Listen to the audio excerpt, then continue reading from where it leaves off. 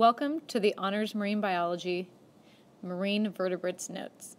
Today we're actually going to cover a variety of organisms, starting with organisms that belong to kingdom Animalia, more specifically phylum Chordata, subphylum Vertebrata, and then of course class Chondrichthyes.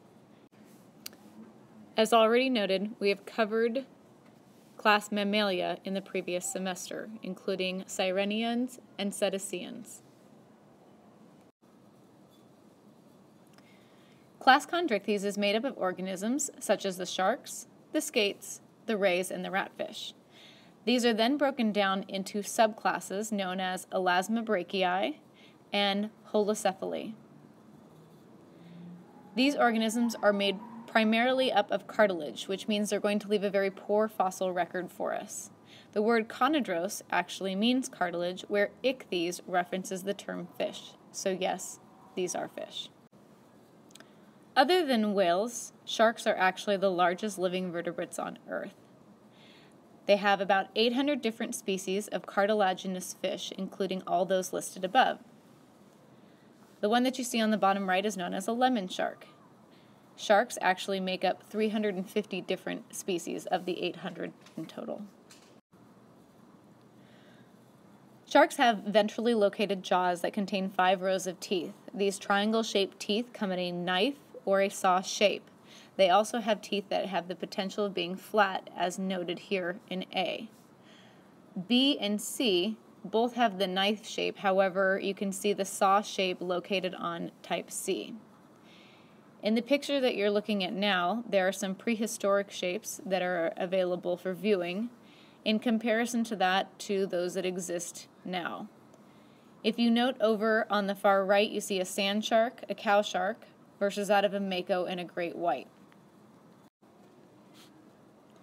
You're viewing a cross section of a shark's jaw. You can note the number of teeth that are present on the shark's mouth. One, two, three, four, and five. This last one is still developing along with the pocket forming here. Sharks continuously lose their teeth over their lifetime. Every time they feed, teeth are broken off and a new one is replaced. This tooth is about to be shed, and this one will eventually replace it. During their entire lifetime, they can actually lose over 30,000 teeth. This slide is just to remind you of orientation.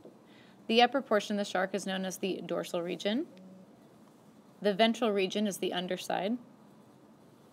The front region, where the snout is located, is the anterior region, and finally, the posterior region, located by the caudal tail. Sharks range from a variety of sizes. The smallest size of a shark ranges from 6 to 8 inches. Two sharks that are competing for the smallest shark are the dwarf lantern and the spine pygmy. The largest shark on record is the whale shark, noted in the next slide. Sharks can live up to about 150 years, however, the average range for most sharks in the wild is 20 to 30 years. Provided is a picture of a pale cat shark. Notice the eyes, how they reflect.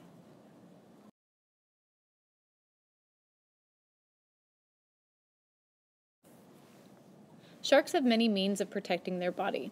The first means of defense is going to be the type of scale, which is called a placoid scale.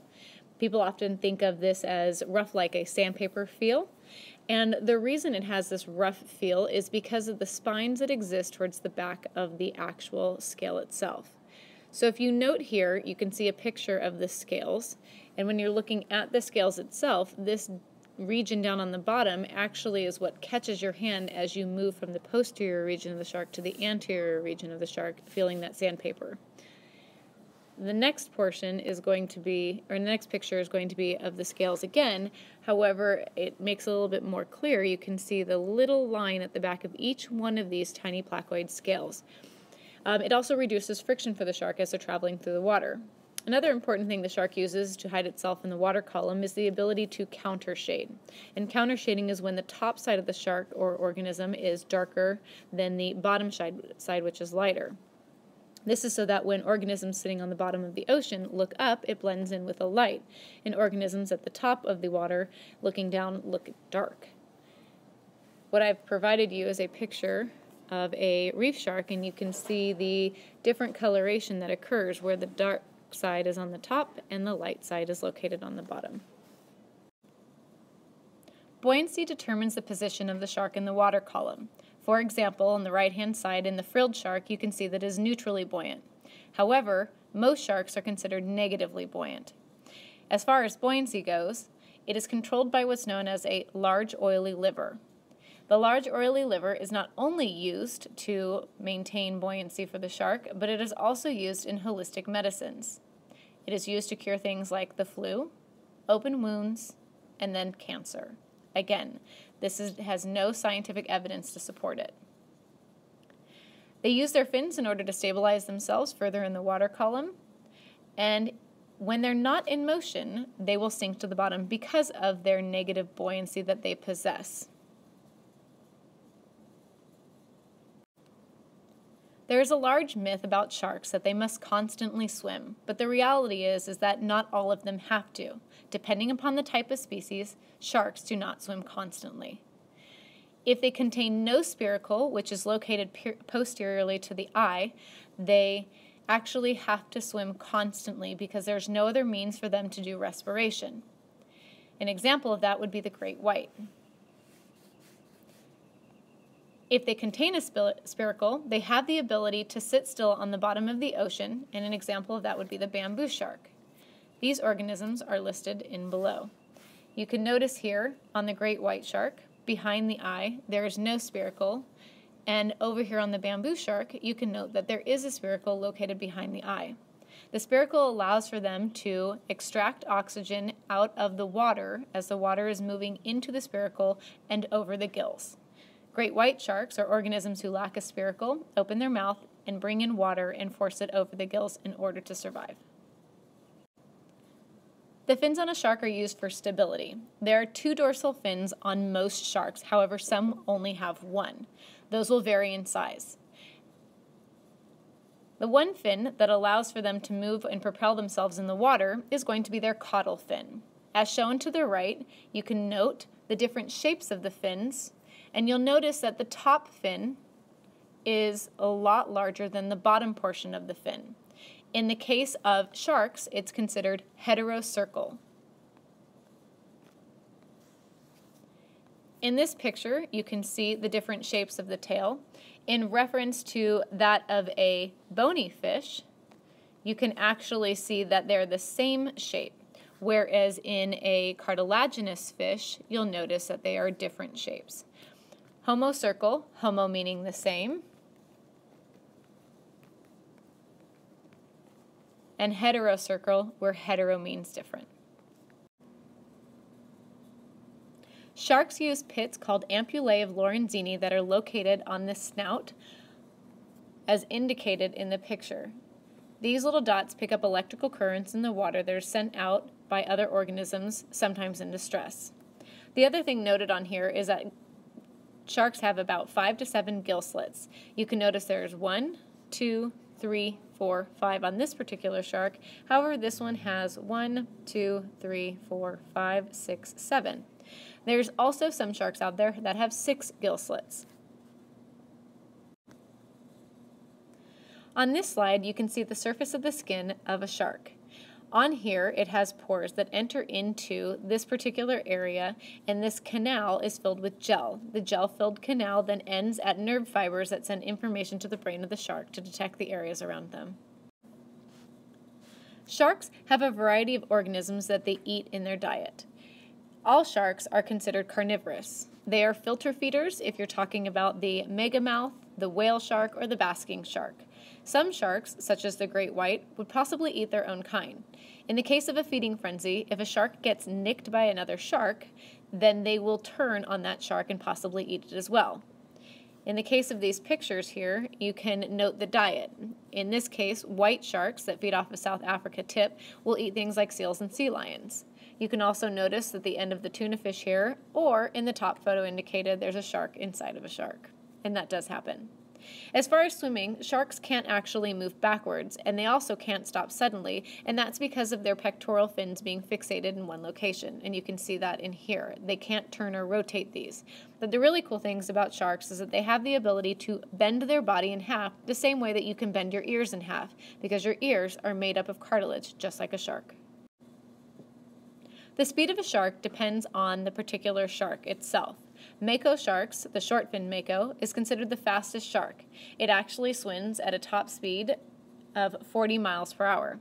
However, it's been actually recorded at 46 miles per hour in short bursts, kind of like the cheetah. It can't run that long, it doesn't have enough energy. However, their cruising speed is more like a 1.5 miles per hour. They're really just moving along slowly in the water. In the picture indicated on the right hand side, you can see that the human's top speed is about 5 miles per hour. Depending upon the shark species, though, 1.5 miles per hour might be slower than the average. Respiration of a shark occurs when water enters through the mouth and over the gills. As far as the term gill rakers, that's inappropriate. The term is actually filaments.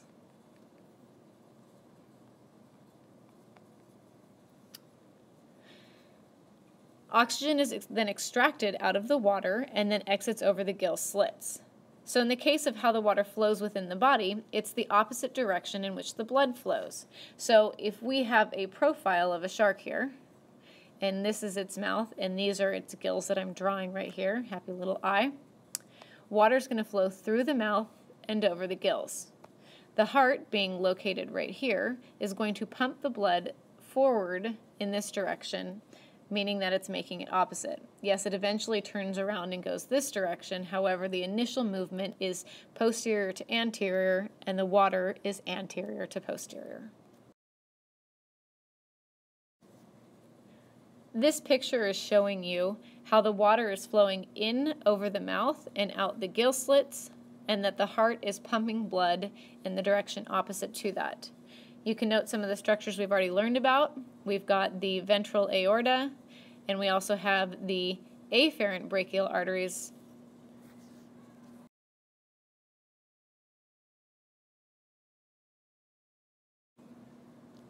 In the case of reproduction for sharks, females are usually larger than males. The three different types of birthing method are ovoviviparous, oviparous, and viviparous. A reminder that ovo means egg and vi equals live. Gestation occurs anywhere from 9 months to 2 years depending upon the species of shark. They can range from 1 to a 100 in each litter, and there's no parental care after the birth has occurred, and that's because sometimes the mother will eat the actual child or offspring, which isn't really good for the species. Last, they do sexual reproduction. In order to do sexual reproduction, sex meaning gametes, we're talking about the use of a uh, external genitalia called claspers in males that are inserted then into the cloaca of the female for internal reproduction. In this photo, you're looking at a kite fin shark embryo. If we're looking at the embryo, you can note a couple things. There's a dorsal fin here and a dorsal fin here. And the other thing that you can note on here is the presence of a yolk sac. And what that implies to us is that these organisms are actually going to be ovoviviparous. Remember, ovo equals egg. And so in the case of these organisms, they give live birth to um, their offspring. However, inside there's no nutrient exchange through the placenta because there's the yolk sac. Here we're looking at the anatomical structures of the shark. Uh, you've already taken a look at this. Uh, what I'd like for you to notice is the presence of the spiracle. Remember that organisms that contain a spiracle are able to sit on the ocean floor and bring in oxygen um, for respiration, whereas sharks that continuously swim will actually lack that altogether. Um, also, a reminder that the tail is heterocercal, the upper lobe is a lot larger um, or uh, more prominent than the lower lobe. Oftentimes, students want to know the difference between a male and a female, which is clearly noted here. If we take a look at the anal fin, you can see that this is a female, and as far as the female goes, notice how uh, it's a nice, smooth, straight line um, that connects both of the anal fins. If we're looking at the male shark uh, up in the top picture, it has two extended portions to the anal fin, and these are known as the claspers. They are inserted into the female's cloaca for uh, internal reproduction. And that's it. There are many uses of sharks. Uh, the first thing that comes to mind, of course, is going to be food.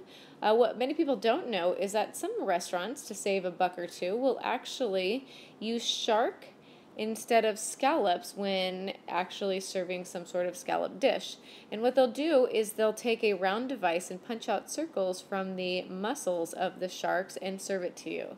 Uh, shark is um, very flaky and so has the ability to mimic scallops if need be. The next thing that they'll do is they'll make shark fin soup. And in some cases, it is a real sad story to hear that people will catch sharks, they will cut the fins off of the sharks, and then in turn, instead of using all the meat that they could uh, on the shark, they'll dump the shark back into the ocean. And of course, the shark can't swim without its fins, and it's going to bleed to death as well. So they've wasted the entire shark itself just for the fins to make this soup. That doesn't happen everywhere, but it does happen. Uh, the skin of sharks is actually used as shagreen to restore furniture. Uh, this is done in a bunch of different countries, but more specifically France. Uh, and you can see these are some pictures of what shagreen furniture would look like.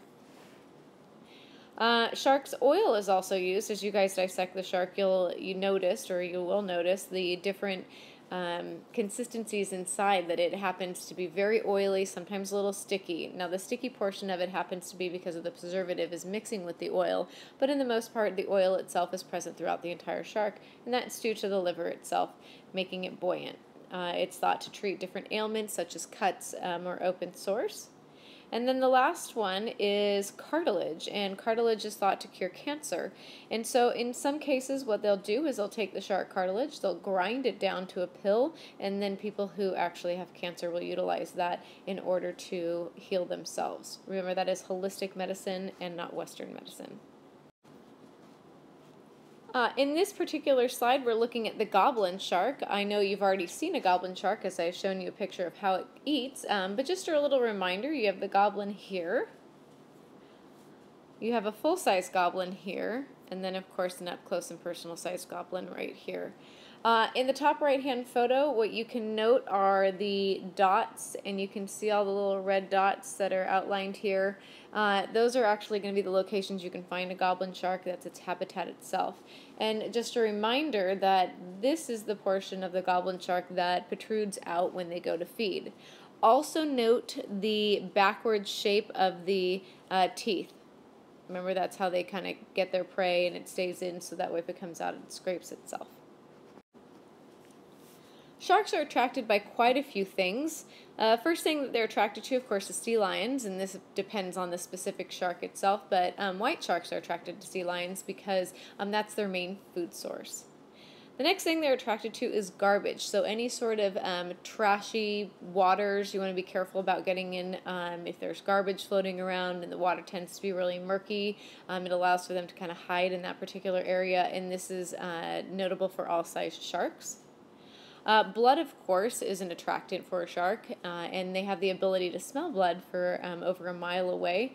Uh, and of course, this is blood that you would bleed from your blood vessels, not menstruating blood. And I know that that tends to be um, a concern for some women, uh, but that is a myth that they're attracted to menstrual blood.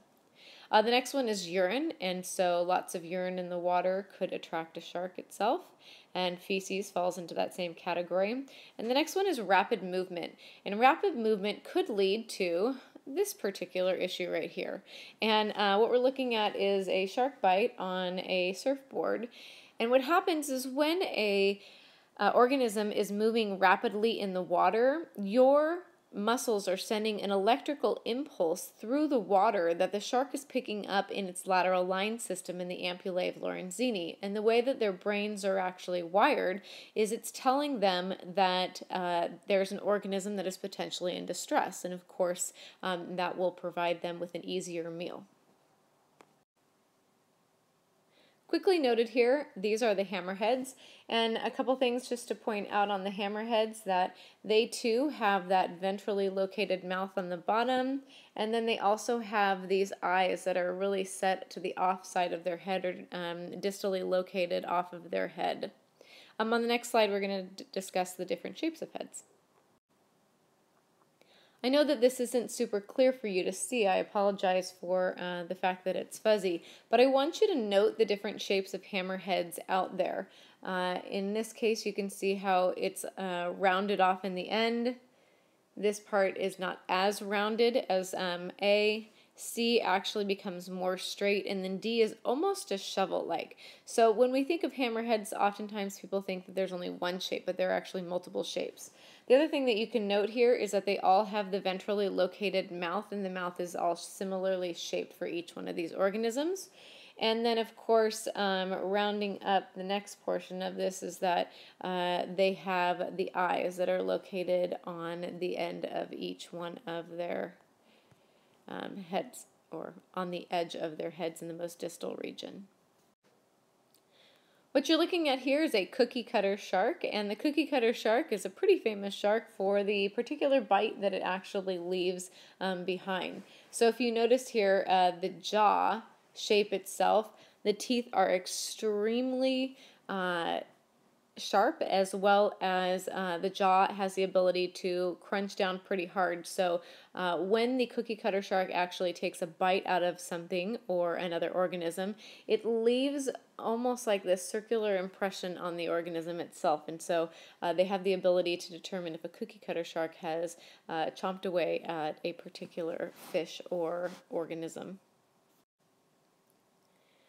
Uh, you're looking at two different types of sharks here. In the top photo, you can see this shark up here is known as an angel shark, and then the bottom photo, photo this is known as a carpet shark. Uh, these two different sharks are almost like that connection um, between rays and skates to the um, chondrichthyes, uh, elasmobranchii um, groupings on the taxonomic charts.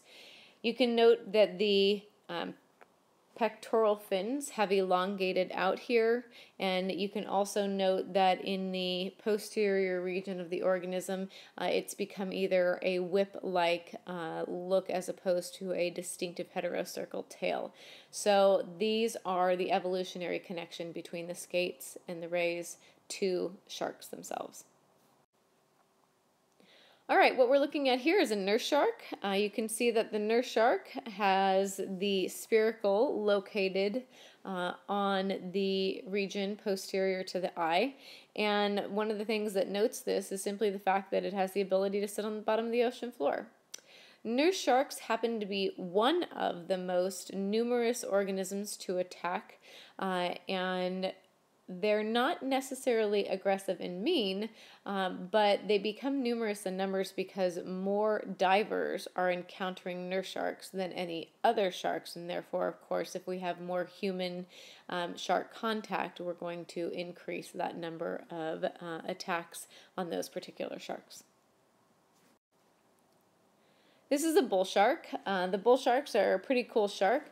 Uh, they have the ability to actually swim up rivers, and uh, they have cool structures that allow for them to regulate the salt level um, so that as they're changing salinity, uh, of water, they don't actually take on too much water or release too much water, um, being hypo or hypertonic. This is a picture of a saw shark. You're going to see another one in just a second. Um, this is just a very primitive extinct species. There are a few species left. However, uh, the numbers of these particular sh sharks is dwindling down quickly simply because the shape of their jaw or their extended snout. Here's that snout I was talking about. You can see the saw shape on the end. Um, of course, people love to have a trophy of this, and so um, many people will go out searching for it.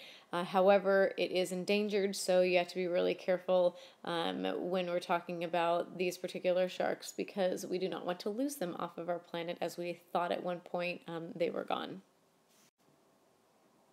This particular fish is a Port Jackson, uh, and a really big thing for you to notice here on the Port Jackson, and of course, is the tooth structure on this particular shark. Um, very, very different shaped tooth. You can see the flat, round look to the um, tooth itself as opposed to the triangle shape that we're used to. Notice the open mouth. These particular organisms are going to feed off of um, like crustaceans or stuff that are um, crawling around on the bottom of the ocean floor because they too have the ability to rest on the bottom of the ocean floor and they have a spiracle located behind their eye as well. In this photo, you're looking at a basking shark. It's another filter feeder. Uh, what happens for the basking shark is that food and water will enter into this particular area. Uh, and then water will exit out over these structures, which are the external gill slits. Uh, oxygen will be absorbed through the filaments, and then any sort of food will stick to the rakers. And then what's really cool is that the food itself will then travel. So if this is the food coming in, it will travel down into the stomach and allow the organism to feed. Uh, and they'll eat anything that's actually in front of them. So smaller fish can actually get in there. Um, planktonic organisms, of course, are going to make it.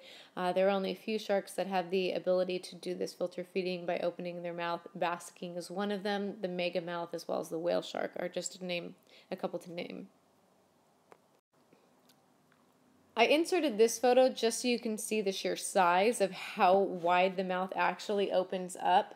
Over here, here's a diver. The diver's probably about four feet in this particular direction, uh, not including the fins as well as the uh, shin bones there. So in relationship to size, you can see that this particular distance here can be about four feet in size and uh, that's quite large. So you definitely want to be careful if you're diving around these sharks as well as the whale sharks.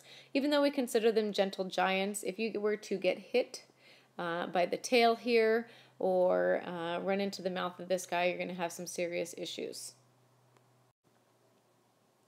This is one of my favorite sharks. This is the thresher shark. Uh, the heterocercal tail is extremely prominent in this particular shark. You can see the different sizes here, um, the upper lobe being almost the length of the entire body of the thresher shark itself. And so if we were looking at this being four feet, this also could be four feet in length as well. It allows for them to propel themselves out of the water, which is what you have the opportunity to see in this upper photo uh, where they are breaching which is the term used to describe sharks that are jumping from the water.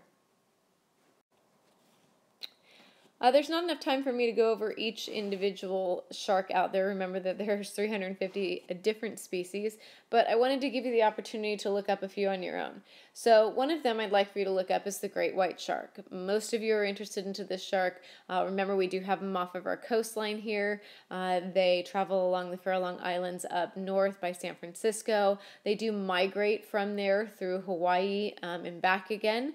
Uh, we have some migratory patterns that have been noted. Uh, lots of people are diving with great white sharks, and there's a couple things that have been going on with animal rights activists is that they don't want divers to be diving with these sharks simply because um, some of they're getting some of them are getting injured by the cages that the humans are in to protect themselves. Uh, the next one is going to be the tiger shark. Uh, tiger shark is uh, one of the most dangerous sharks. Unlike the great white, it has a diet that consists of anything, whereas the great white prefers to eat things such as seals or sea lions. Uh, tiger sharks have been um, known to find some very interesting things inside of their stomachs. In some cases, we've actually had them find um, a license plate a half of an alligator. They found a suit of armor. Super crazy. Another one here is the megamouth, uh, similar to that of the basking shark. I'd also like for you to look up the Greenland shark. Uh, the eye on the Greenland shark usually has parasitic worms that are associated with it, so our um, thought is that they have poor vision, but they have a super great sense of smell. the angular rough shark, and then, of course, the silly one, the cow shark, uh, that has been mentioned here. One more thing I wanted to mention is that you should also look up the blue shark. And the blue shark is known as the wolves of the sea. And that's because the blue sharks will actually pack up. And when they pack up, they have been known to follow ships in the ocean. And this isn't because, you know, people are jumping overboard and they're consuming them, but they're dumping trash and they're dumping food. And yes, occasionally some items of um, liking will make it into the water and they will consume it.